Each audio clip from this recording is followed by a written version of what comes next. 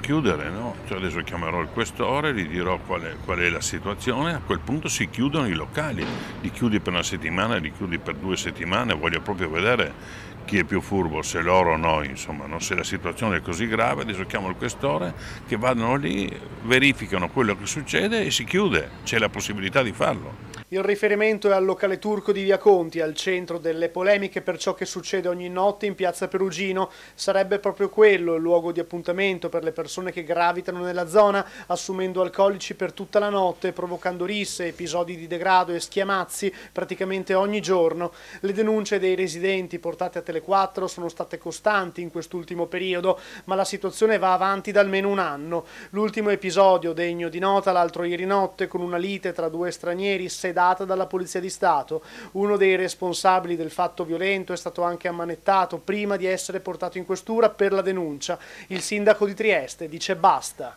Poi la sera bevono, questo è anche una, una brutta realtà. No? Ormai qua bisogna, bisogna ritornare un po' alle regole, bisogna ritornare alle regole. Io non ho mai girato con il coltello, eh, dico eh, la polizia che comincia a perquisire questi tipi, no? E, ripeto, se bevono, eccetera, si chiude, bisogna chiudere, l'ho fatto chiudere in viale, faremo chiudere anche questo.